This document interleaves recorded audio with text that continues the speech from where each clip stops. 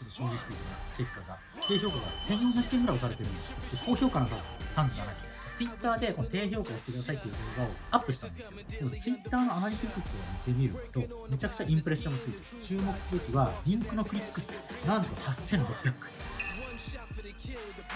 はい、水谷です、えー、今日はですね、以前に撮った皆さん、この動画を覚えてらっしゃいますか？低評価をね、押してくださいっていう動画を撮影したんですけれども、YouTube の動画のアナリティクスっていろんな説があってですね、まあ、高評価も低評価もどっちもいいんじゃないのみたいなところの説があったりして、これ実際どうなのかなってたまにあるじゃないですか。低評価たくさんついててめっちゃ再生回ってるやつとかって。で、これ実際やってみてね、どうなるのかっていうのを検証したいなと思って以前撮影したんですけれども、今回の動画はその結果を発表したいと思います。思います。えー、僕のアナリティクスをね、直接皆さんにお見せしながら、実際どういう風なインプレッション経由をたどっているか、どれだけ再生されてるかですね、今日は皆さんにお伝えしたいと思いますんで、これから YouTube を撮影しようという方には、えー、すごく参考になる情報じゃないかなというふうに思います。この番組ではこのようにビジネスにまつわる、えー、生の情報をできるだけわかりやすく配信することを目的に、え、公開しています。よろしければ、え、チャンネル登録、え、そして高評価、え、低評価、え、どちらでも結構ですんで、えー、ぜひ、え、押してください。それでは早速行ってみましょう。石崎さんお疲れ様です。以前に公開した、はいはい、あの低評価をつけてくださいっていう動画覚えていらっしゃいますか？もちろん。動画が結構上がってから2か月ちょっとですかね。結構経ったよね。はい経ったと思うので、うん、ちょっと結果をお聞きしたいんですけど。検証結果をね。はい。あいいよいいよ全然。お願いします。いや結構ねちょっと衝撃的な結果が、はい、なんか全然想像したのと違った結果が出てて、はい。まあ、それはそれで面白かったかなっていうところで、はい、低評価が今時点でね、はい、1400件ぐらい押されてるんですよで高評価の数なんと37件。だいぶ低評価になったよね。すごいですね、うん、過去今まで配信した中で一番低評価が多い動画なんですけどこれがね低評価たくさんやったやつってどうなんのかなってめっちゃ気になっとったんですよ。まず結論から言ったらね再生回数めっちゃ再生されました。最初だけ。これ結構特徴的な部分かなまあもう2ヶ月ぐらいやってるんですけど直近の再生回数ね大体1日それこそ10回20回ぐらいしか再生されない。再生がされない動画になってしまったっていう。そうですね。最終的に結論になったかなと、はい、でこれちょっと面白いのがねアナリティクスの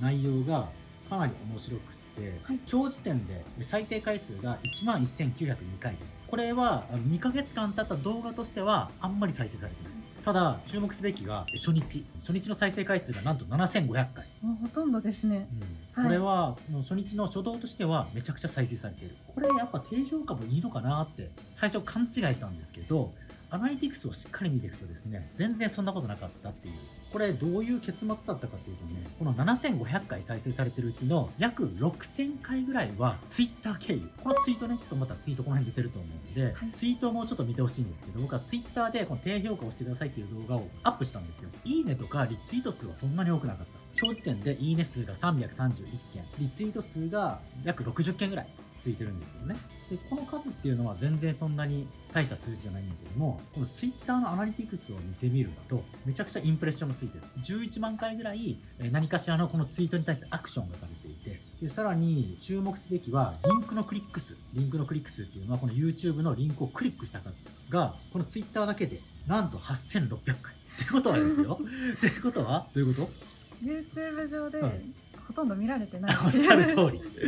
おっしゃる通りですね。あのもうほとんどがツイッターからの流入でえ今回再生を回した。言ったらこのツイッターのね内容を見てもなんかえ？どういうこと？え低評価しかつかない動画？ちょっと見てみようかな。っていう形で多分ねたくさんクリックしてくれたんでしょうね。11万回インプレッションがつくって結構異常数値ですしリンクのクリック数が8600回つくってね結構高い頻度でアクセスされたんですね。普段だとどのくらいの数値にそれぞれなるんですか、うん、えっ、ー、とツイッターで言ったら大体インプレッションで言ったらこれの半分ぐらい。5万前後、はい、5万から6万回ぐらいかなインプレッションで半分ね。でリンクのクリック数はもっと低い。1000回から2000回ぐらい。そうなんですね、うん、ってことは大体4倍ぐらいね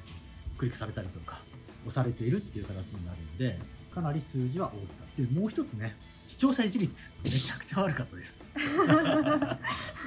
14.5%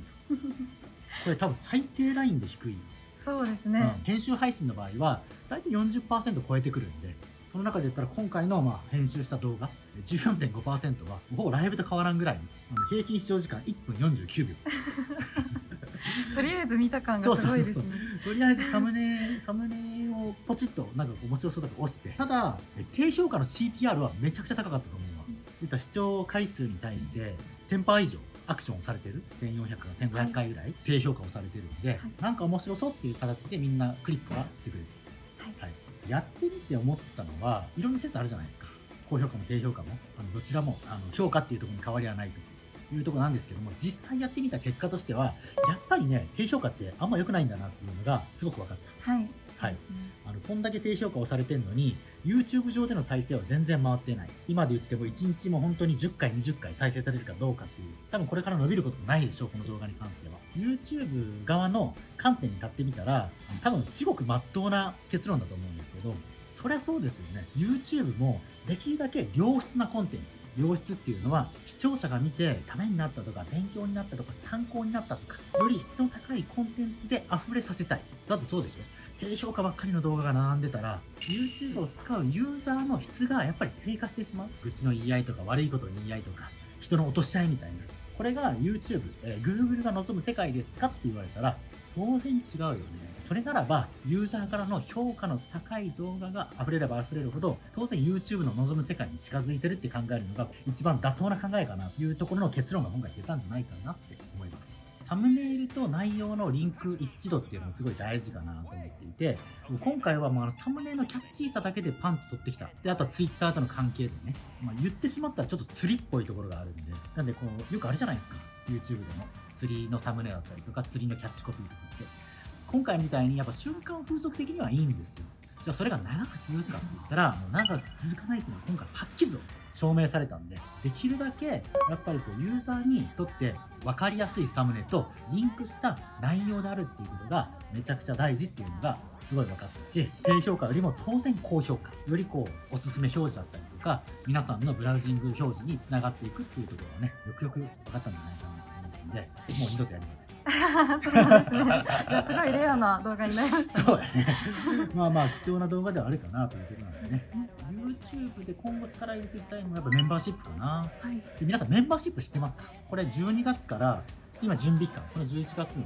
準備期間という形でやっていて、今日見ていただく皆さんだけちょっとだけお話ししとくとね、YouTube 上での、まあ言ったら有料コミュニティみたいな位置づけになります。月額お金を払うと、その払った会員さん限定で特典が受けれるっていうね、これ YouTube 上の機能なんですけど、ちょっとこれやっていこうかなと思っています。僕のメンバーシップ、まあ、ある程度ね、方向性決まってるんですけど、例えば、今、編集して配信してるじゃないですか、動画を。それをノーカット版が見れたりとか、メンバーシップ限定でね。あとはメンバーシップ限定のゲリラライブをやったりとか。あとは今ライブ配信をやってるんですけど、定期的に消してます。けど、メンバーシップに関してはライブ配信が半永久的に見れたりとか。あとは、あの、僕が何もしてないとこ映したりとか。仕事なんかこれやった方がいいんじゃないみたいなの言われてね。そう仕事中の風景とか、えー、僕が寝てるとことか。はい。もうなんか何とりあえず何もしないところを映すみたいなね。まあいろいろと得点をつけてメンバーシップちょっとやっていこうと思いますので皆さんよかったらぜひメンバーシップ12月にはしてきると思いますので一緒にまた盛り上げていただければと思います。はい。ぜひお願いします。でちなみにですよ。皆さんね、この動画だけ見てね、なんか評価が低かったから、これ再生されてないって、そんな関係あるの？みたいな感じで思われる方もいると思うんで、今回ね、ちょっと比較してみたんですよ。同じぐらいの評価数、高評価と低評価の数を合算した数が約同じ、1500前後ぐらいの評価数のやつをちょっと見てみたら、もうこれ顕著にやっぱ現れているんで、例えば最近出したね、社長の営業っていう動画が約1500回ぐらい評価がついていて、今回検証したこの低評価をしてくださいっていう動画とほぼま同数ぐらい、まあ、高評価と低評価完全に逆転なんですけどね。これはですね、視聴回数、現時点で約2万6000件ぐらい。これはそこそこいい方に入ります。うち僕らの、僕の動画で言ったら。さっきはほとんどがね、外部流入って感じだったじゃないですか。外部からのアクセス。でこちらの動画に関しては、75.1%がブラウジングからの流入です。めちゃくちゃ高いですね。高いね。はい。言ったらこれはもうトップページとかホーム画面、皆さんのホーム画面とか YouTube のトップに、まあ、おすすめっていう形で表示されてからの流入が75%、はい、かなり多い。その次に多いのが関連動画。これが13.1%。多分これはね、まだ配信して日が経ってないんで、これからちょっとずつ伸びてくる数字じゃないかなというところです。で、逆に外部流入、外部からのアクセスっていうのがたった0.4%。先ほどの動画、低評価をしてくださいっていうのが、なんと54.5%なんで、いかに最初の初動だけで撮ったかっていうところが分かるんじゃないかなというところです。で、いじりつも良かったんですよね。この動画に関しては。維持率が約40%こ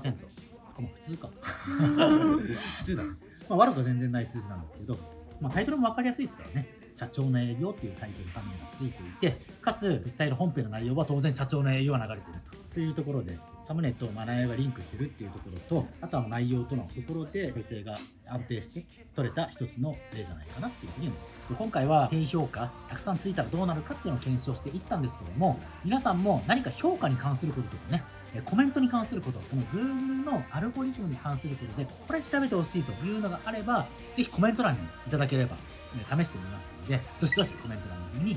応募してください。またね、こういったあの実体験版であったりとか、潜入系の動画も、えどんどんやっていきますので、もしよろしければ、この機会にチャンネル登録、そして、えいいなと思っていただいたら、高評価でも、え悪いなと思っていただいたら、低評価でも大丈夫です。はい。あの、できればね、今回の動画で検証されたんで、えー、高評価をしていただけると嬉しいですし、ただ違ったなと思っていただいたら、これはもう遠慮なく、えー、低評価をしていただいて、今後の動画制作の僕らは勝手にさせてもらいますんで、ぜひよろしくお願いします。お願いします。では皆さん、えー、また、え次回の動画でお会いしましょう。さよなら。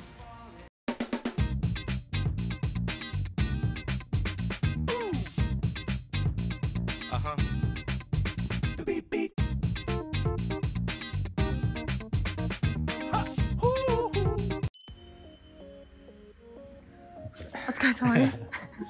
いかんかったね、低評価ね。そうですね。俺いけると思ったんですけどね。はい。初日がすごかったんで。初日が来たけんさ。はい。あの後もずっと伸びるんかなと思ったら、ポーンと終わったけどね。そうですね。でしかもよくよくアナリティクスを見てみると YouTube 上で再生されたんじゃなくてほぼ Twitter からっていうあ ちょっとさいい動画作ろうそうですね、ね、やっぱり YouTube で盛り上げていきたいです、ね、はい